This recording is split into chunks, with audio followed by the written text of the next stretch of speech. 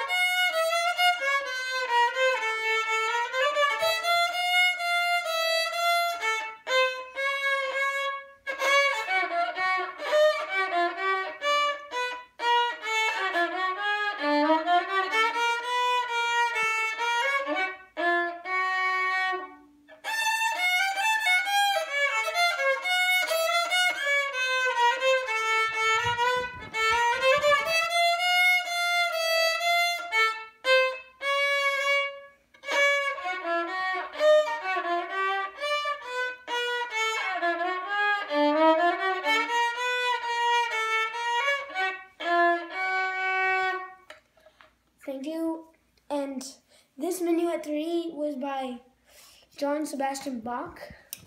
And just saying, if you want to see the music, it's right here.